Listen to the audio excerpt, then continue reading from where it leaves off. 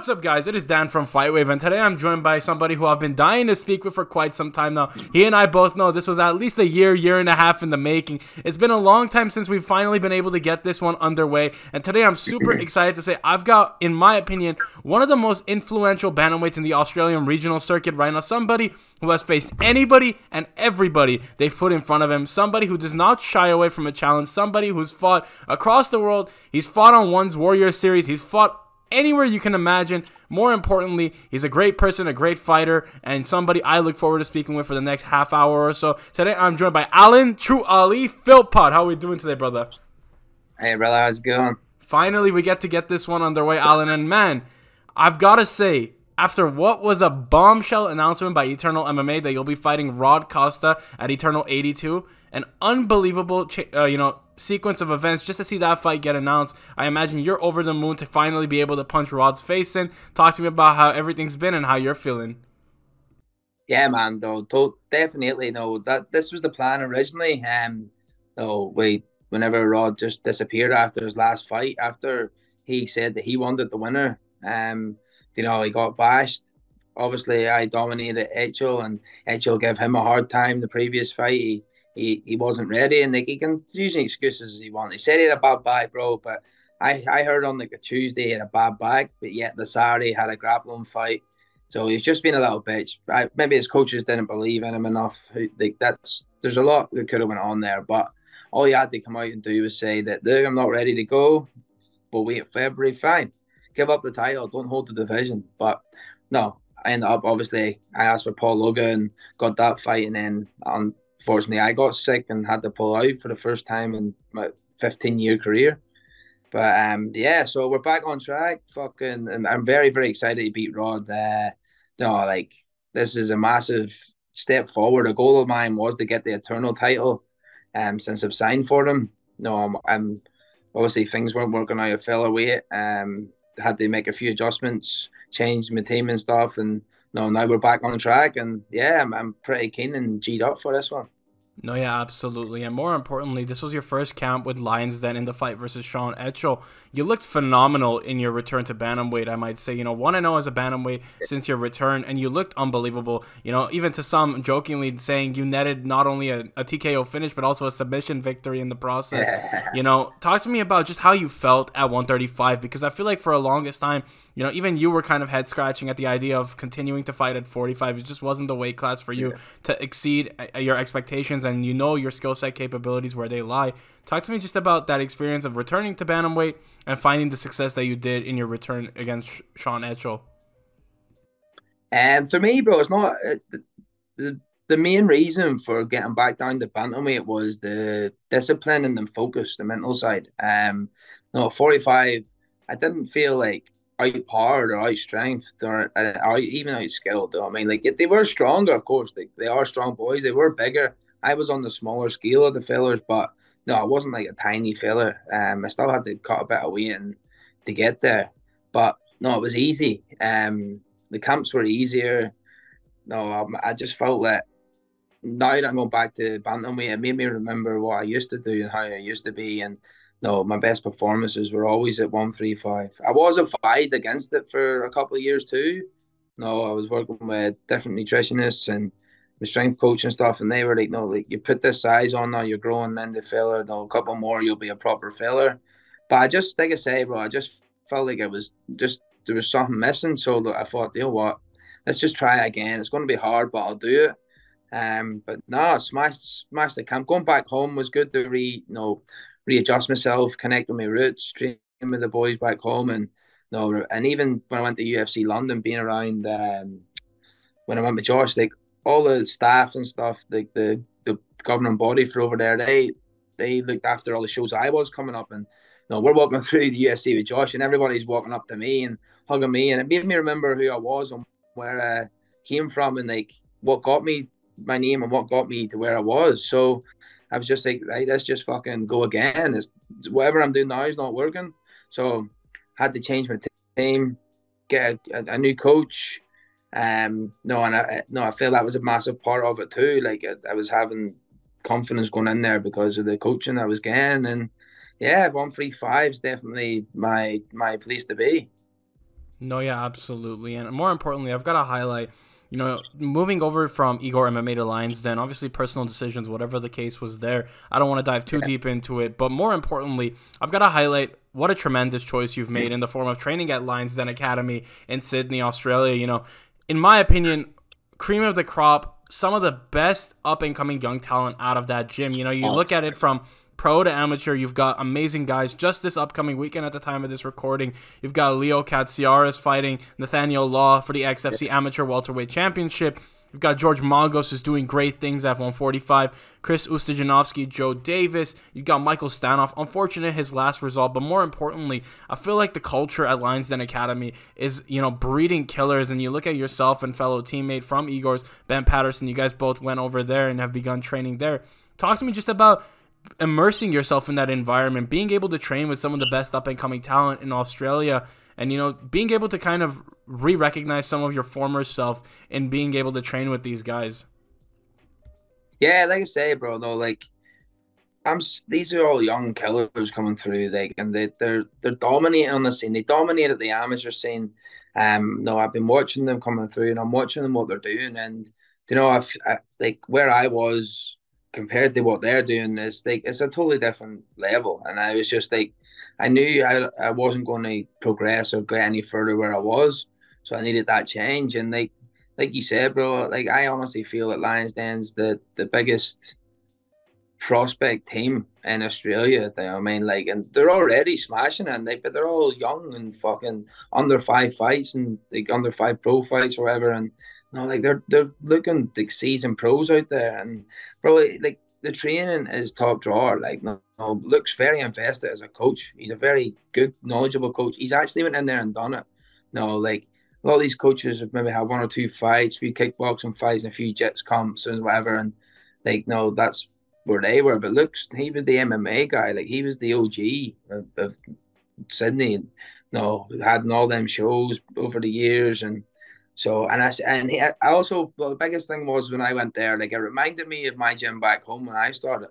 Like the way Luke coaches and the style of things is the same as my coach. The way the way he gets on, and no, that that was massive for me because since being in Australia, we never I never really found that. It was more like I was trying to create it. I was trying to like build it between like my coaches and teammates, and no, I felt like I was always trying to get that, and it was just never there, never there.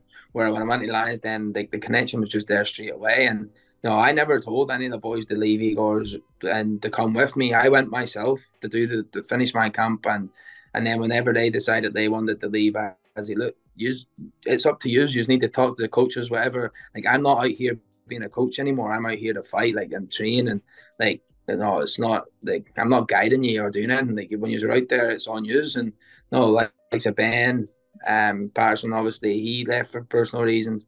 Brandon White, he's been with me from the start, and he was like, like wherever you go, I go, because no, I was the one that got him started and helped him, and I was like, I, I was like, well, that's on you, that's your choice. I was like, no, obviously, I'm I'm buzzing that the the boys have came over, um, but at the same time, you know, I, I'm just glad that they made the choice for their own reasons, and they're thriving there too, bro. Like like I said, like you you mentioned the the pros, but see the amateurs coming through. Like there's a lot of they've only debuted there the other week. Man, they were knocking people out in seconds and submitting people and putting on dominant performances. And bro, like they're doing that stuff to us in the gym. Like like every round in that gym is challenging, and that's why I needed, bro. I needed that. I needed that where no, and Igor's. I only had Josh. Do you know what I mean? There was no one else. Literally no one else. There's like nobody could do anything there. I was getting away with stuff that I would never get away with now. So definitely, definitely the right, right choice to make, and I'm very positive moving forward and confident that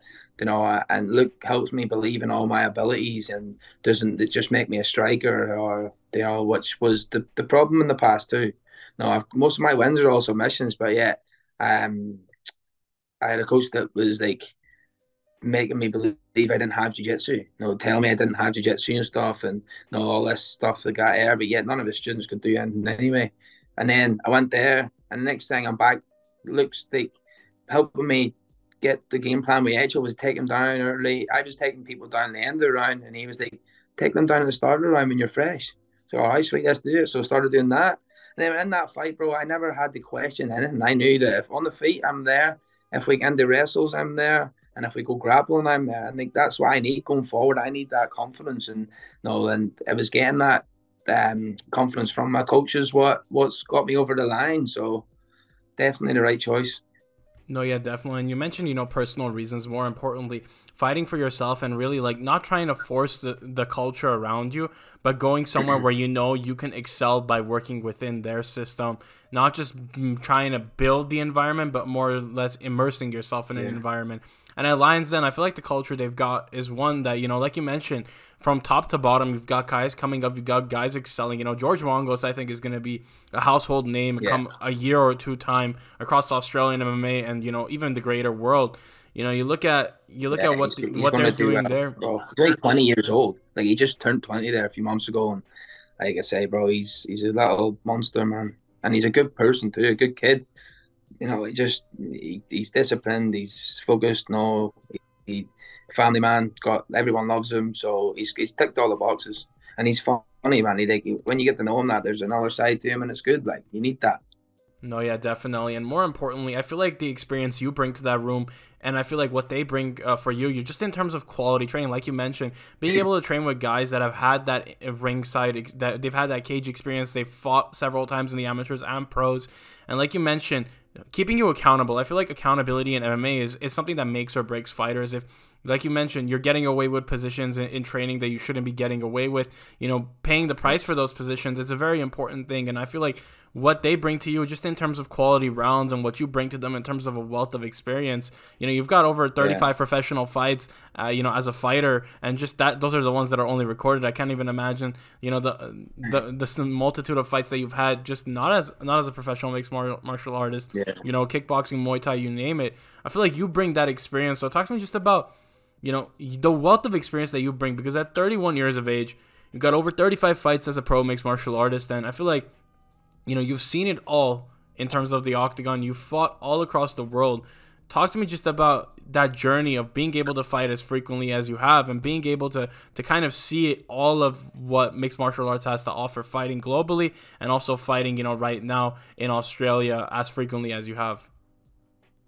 Yeah, well, that was that was one of the main things, bro. Is like, no, obviously moving to a new gym and stuff. Like, they them boys all grew up together. They've all got that team network. Like, and of course, I'm more experienced and I'm, I'm at the, the, the top of the chains where they're only coming through. So, but the main thing was like, they they were as excited for me coming to help because I've got this experience as I was getting there, and like that was that was the cherry on top, really. Like, no, whenever because I spoke to the boys and I got to know them through the local scene and that, and like, no, there's always that better respect there. And so, like, no, they always give a good vibe, even at all the shows. Even when we fought their boys, they were always respectful.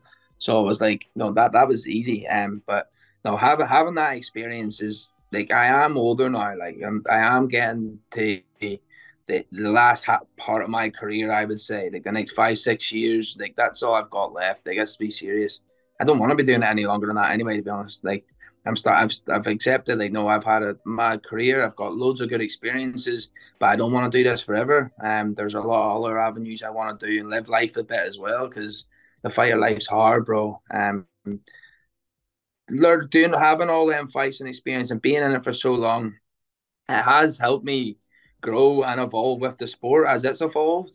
Um, you know, definitely doing things a lot more different and advise people to do different than what I've done. And like, you know, that's where it comes in. Like the boys when they're doing the weight cuts or you know if they get offered fights and such and such, like eh, they, they can talk to me about it and I can give them that experience. And I'll just the thing is I give them my experience past my, my past experiences. I don't just like say things without knowing. Do you know what I mean? I've tried and done it all. That's I tell. If there's something to happen or go wrong, in a camp or leading up to the fight, whether it's like missing weight or whatever. I've done everything wrong. Like I've done it all wrong. And I've got this far, which excites me because now I believe that now I have done all that. I've, I've done like a full circle and now I'm at Lions Den with all these young killers. Like it's making me it's the shit. It's, uh, it's not like I'm starting again, but I've got all that experience, all that knowledge, all them years of mine and then and, and learning from the, the OGs where now I'm getting now I'm getting to evolve again with the, the new breed. Um, so no, I've got it coming from both both angles. So yeah, it's good. Definitely, though, it's been a fun career so far, but now it's not about being serious and you know picking the right fights at the right times and doing things just a little bit right. And you know that's why like the Logan fight not happening was probably a blessing in disguise because you know I had a very bad neck injury, but my ego was getting the better of me, and it was the old Alan Philpott. It was like anyone, anytime, prepared or not. You know what I mean? Where that could have jeopardized me. Like if I went in there, got caught, because look, it was obviously decent enough to do that, but um, I was still confident I would have punched the head off him anyway. But no, if that if that would have happened, that was me back to square one, where I need to be a bit more smart and about my decision making, and you know, so yeah, the experience definitely helped, and it's going to help me help them other guys.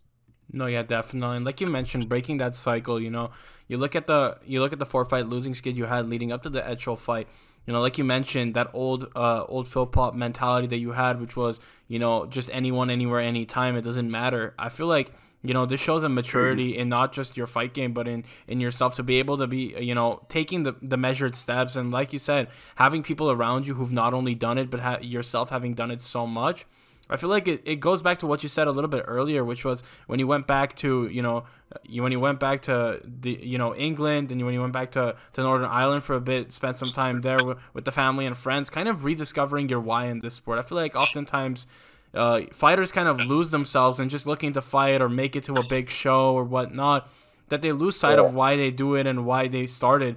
And, you know, you look at yourself fighting across the world. More importantly, you know, what really drew me to your story was, you know, your time on the One Warrior series. I feel like that was something that really got me, you know, invested in you as a fighter, seeing why you do it, seeing the impact that your family has had on you in this sport, just what they've made your what your what your your mother and sister have meant for you. It, it, it was it was a very touching story and I wanted to ask you just in terms of going back to to the roots and why you started fighting and also just being a great ambassador for Northern Ireland MMA. I feel like there's nobody really out of Northern Ireland that's done it like Alan Philpott, gone across the world, shown that it can be done. You know, you paved the way really for Northern Ireland fighters, and even even the Irish fighters. I know there's a little bit of you know history there. We won't get too much into it, but you know, I know for you. It probably means the world to be able to trailblaze and lead lead the pack, show it can be done. So talk to me just about you know, not just being revitalized and having your family come to you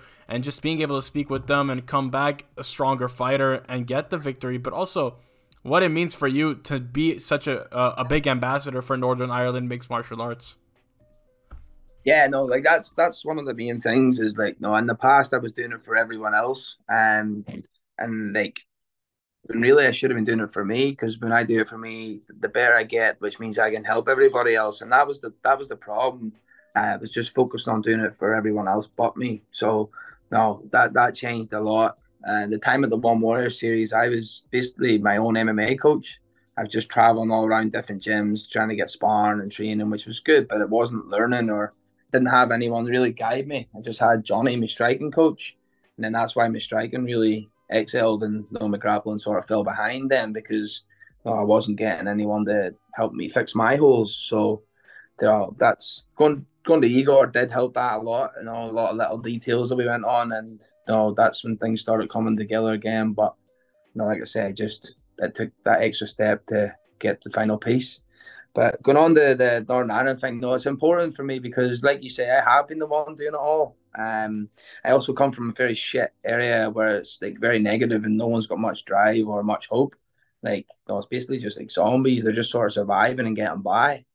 And you know, if if somebody from the town can go out and make something of themselves and know and prove to the next generation that you don't have to just be stay there and stuck there and live the life that your elders or everyone else living. No, like have ambition, go go chase them goals. It's not easy. It's very very hard, but you know it can be a very fun and exciting and rewarding thing to do as well. And like that's where we're at now. Like, you know, I know proven to myself that I could be that kid that went and done something, and then by me doing that, I can help all those others, and I'll help give people some future dreams as well to follow, and I'll be a role model. And like I've said, I've done some bad things in my time as well, so I can right the wrongs and you know make my family proud and friends, and you know, come on to this earth to do something good to help other people, well then I'm I'm that's that's happy. I'm happy with that. Like my career's been good.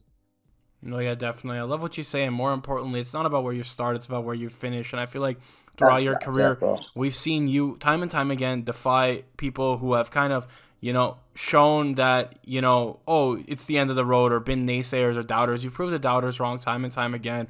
And more importantly, I feel like for you, just seeing what you've done, you know, you fought, like you said, across the world and basically being your own coach, being your own influence in this sport. You know, at times when nobody believed in you, you believed in yourself. And that's the most rewarding part about it all. Just talk to me about, you know, now you look at everyone, the supporters that you've amassed. You know, you've got over 10,000 people on Instagram following you. You've got a massive army of supporters, I think, in my opinion. Yeah. Just talk to me about being able to fight globally and see support anywhere you go from fighting in your early days on BAMMA, fighting for the One Warrior series to now fighting on Eternal and, you know, being one of the more recognizable names amongst the promotion. What does that mean for you? And to just see the support that you have and be able to show, you know, Alan Philpott has got quite a backing behind him. You know, you, you guys don't know yeah. what you're getting into just yet. Yeah, no, that that's obviously a big part of it too. Like I thrive off the crowd too and the energy and stuff.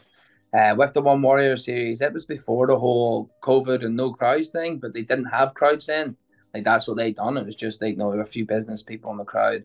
Um, I sort of liked it at the time. I thought, oh, this is good, the martial arts way, and you know, then it was only whenever I came back and fought in front of a crowd I realized nah, it's totally different. Like that's not for me. I need I need the crowd. I like the the energy. I like the thrive off it. Whether it's me going into enemy territory and they've got a massive crowd going against me, or if it's me and I've got a big crowd there, which I usually always do.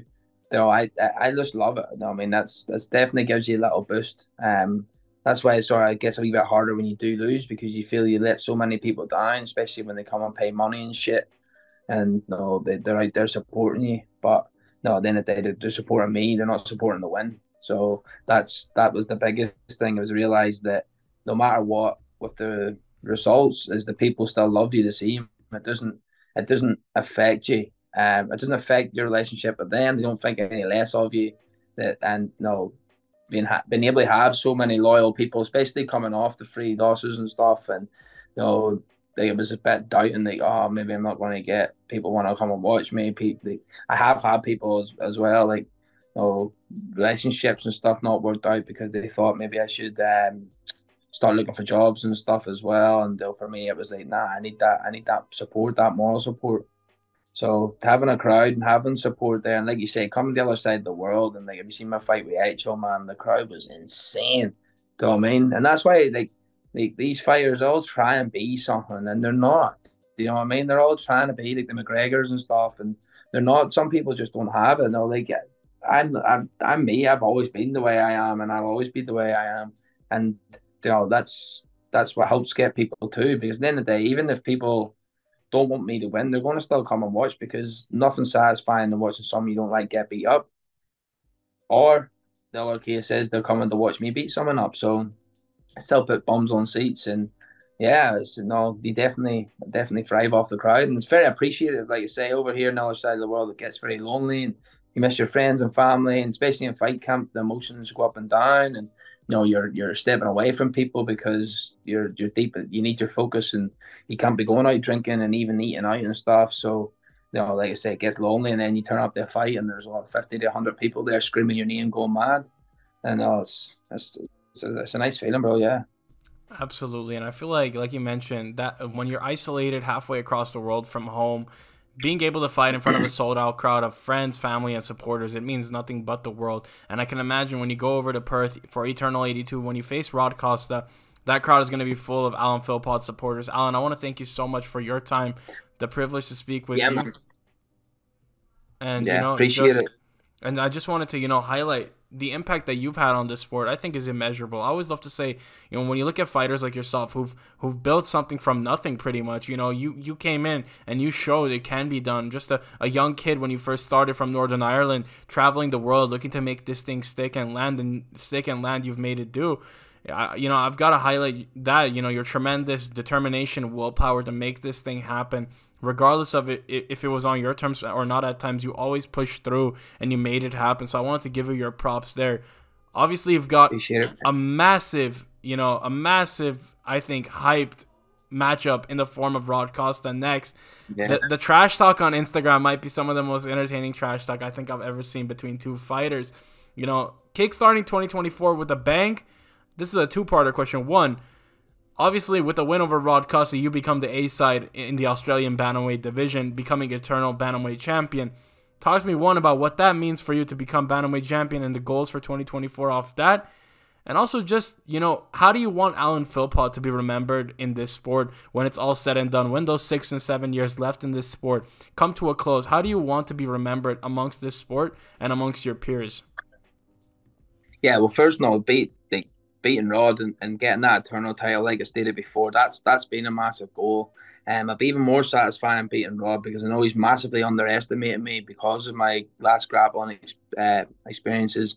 So that that's going to be really nice whenever he tries to grab on. I grab one, I'm smashing his head in, and um, Miller on the floor on the feet. And to be honest, bro, I, like the only reason this is going to hit the floor at grapple at all is if I wanted to. Like, it's a massive cage. There's no one he has ever faced at my level of striking. Um, so that's that's a massive bonus on my side. It's it, at the end of the day, it's everything against him as well. He's in Perth. He's got the title. You know, he, he's he's old. He's older. He's no. He's it's it's everything. It's in his hometown. His family and friends are going to be there. No, he's got that number one ranking spot. So like for me to come in here, just swip that all from him, and I'm going to do it in absolute classic fashion. It's going to be hard for him, and I can guarantee you, bro. Like no, I'm going to put an absolute clinic on him that I haven't put on anyone before. Um, so that's going to be good. No, it was five years ago. I fought my first Australian. I was on ACB. Um, which was the third biggest show in the world at the time after Bellator and UFC. I fought Gustavo Falciroli. He was the man, bro. He was fucking. He fought Bibiano Fernandes on the one for the one championship final. He beat everyone on the local scene. He's beat Kai Kara-France twice. No, Richie Fast. He's beat all the boy. He was the man. I, mean, I absolutely schooled him. Like, then you have to go your first first gear. Black belt took him down loads. He's a probably better black belt than what Rod is. Uh, Rod's still very good. No one, I'll give him credit. Like his jiu-jitsu is great, probably the best and one of the best in um, the eternal promotion. But like, my MMA is a lot better, and it's going to be what cancels him out. Um, so yeah, that's that's going to be massive for me, bro. Taking that title, getting that number one spot back because, like I say, it's five years ago I had it. And then no, for me, I want to go PFL, bro. Obviously, if UFC come as well, but PFL is really where I want to go. I like what they're doing. No, they're doing a lot more shows in like Ireland and stuff. And now they've joined with Bellator. Bellator do Irish shows and no. getting back to Northern Ireland's the goal. No, to get on a big show back in Northern Ireland, that's what we want. So if I could get on one of them promotions, get one or two, get good wins, keep that hype going, and then they'll get get back to Belfast, get a main event spot or even a co-main, no, get that in Belfast, that's that would be ideal, bro. That'd be that's that's what we want. So get that get that strap in February, no, and then move on to the big leagues if we can. And like I say, I'm pretty confident that after I beat Rod, that no, it's just going to be up from there.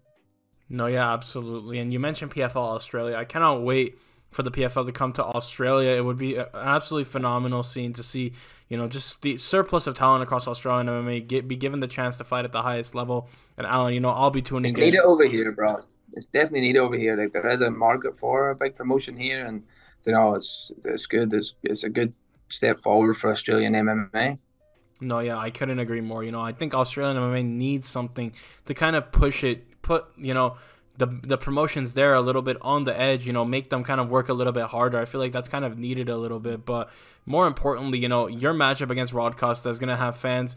Uh, you know, it's gonna put butts to seats. It's gonna be one that everyone's gonna tune in for. I think I, you know, I, I don't think I've been this excited for a regional scene promotion in terms of build up and trash talk since you know you look at Michael Manu versus Emrah Hekemoglu. That was in and of its own right, but that's boring about me. He's just a wee fake cunt. That wee Turkish person that thinks he's a Dagestani wrestler. Man, he punched the head off him. Do you know what I mean? Like these cunts are fake, bro. Do you know what I mean? They're not real. That's the thing about it. They're they're their bark's bigger than their bite, and like it's the same as Costa. He, he's not. He's he's talking like as if I, like the only reason he came back online was when I came out sick saying I'm scared to fight and I'm pussy. Like if there's anyone that's not scared to fight, it's me.